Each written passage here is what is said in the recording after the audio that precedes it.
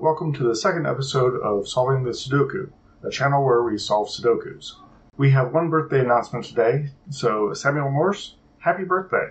We know how much you love solving Sudokus. This puzzle is called dot dot dash dot, which is an odd name for a Sudoku puzzle. At any rate, it has the following rules.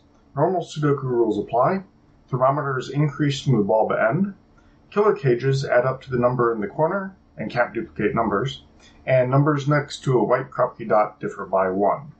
Uh, not all Kropki dots have been given. And with that, let's get solving. So, row 7 is the logical place to start with only two digits missing. The 7 has to go in box 9, which means that the 3 goes in this box. Uh, we can start on row 1 now. It needs a 2, 5, and 6. Uh, we can put those in here, 2, 5, and 6. The only value that's possible here is a 5, which leaves a 2, 6 pair in those boxes. The thermometer here needs a number that's less than 4. It can see a 2 and 3, so that means that's a 1, uh, which also places a 1 here. Uh, the 35 cage here can't have a 4 and 1 in it which means that its digits have to be 2, 3, 6, 7, 8, and 9. The 7 9 are already placed. Uh, we have a 2, 6 there. So the rest are uh, 2, 3, 6, and 8. Uh, we can take the 6, 8 out of this one, and we can take the 2, 6 out of this one. This one obviously needs to be less than 4, so that is either 2 or 3. We'll remove those. Uh, the only digit that's left in this box is a 5, so we put that there. Uh, there's a 5 here, which means there's a 5 there. Uh, that leaves this one to be either a 4 or 6, which means this one has to be a 3, a 5, uh, it could be 7, but it can't, and that's it. So this is also a 5. And we're just zooming along on this. Coming back up here, this is either a 3 or an 8. Uh, and it can't be an 8, so this becomes a 3, which means this is an 8. Uh, which leaves a 2 3 pair here, which means that this has to be a 6. And this one then has to be a 2. And that's great in the 34 cage, we have this one. Ah, so it can see a 4 here and here. Oh, it sees the 4 here and here. So this has to be a 4. Uh, on this cage now, we have 25 uh, numbers there. It needs to go up to 34, so that has to be a 9. Uh, this dot then has to be an 8 and that leaves a 6 in this box.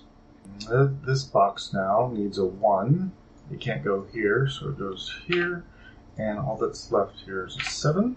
So the middle box, uh, we've got a 1, 8 here and here, which means that 1 and 8 have to go here. Because the 27 cage can't have a 1 or 8 in it, the only possible values are 2, 3, 4, 5, 6, 7. So we go ahead and put those in. Two, three, four, five, six, seven. Uh, this one has to be a six. This one has to be a five. And we're left with a two, seven pair here. Uh, the last digit in box five that's missing here has to be a nine. Uh, and then all of this stuff, fix this one so that it becomes a four. And then in this column, the only thing that's missing here is a two which also places a 2 here.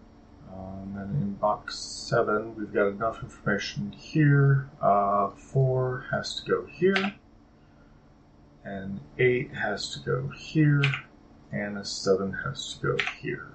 In column 3, we're just missing one value, so that is an 8. And that makes that 1 and that an 8. And then in this box, we can finish up uh, you have to be a 6, and then a 9 and a 5. In this cage here, we know that this is a 2, 7, and 9. And the 9 can't go here. The second row is a 3, 6. Uh, and the 3 has to go here. So the 6 has to go here. In box 9, there is only one place the 8 can go here. And that leaves a 4 for, to finish up this row. And then the only thing that can go here is a 3. And we see that that becomes a 2, that becomes a 3. And then all we've got left here is a 5 and 9. This one sees that, so that's a 9. This one sees that, so that's a 5. We can go back up to box 6 and we'll fill them up by columns. We've got a 2 and 4 needed here. This one sees the 4, so that's a 2. That's a 4. That a 7. That a 2. That becomes a 9. That becomes a 7. That becomes a 2. So this becomes a 1. This is a 5. This is a 9. And this is a 3, a 7, and a 6. Yep. So that was a pretty good uh, Sudoku. Uh, not much to say about it. Uh, thank you for joining us. We'll be back again next time with another Solving the Sudoku.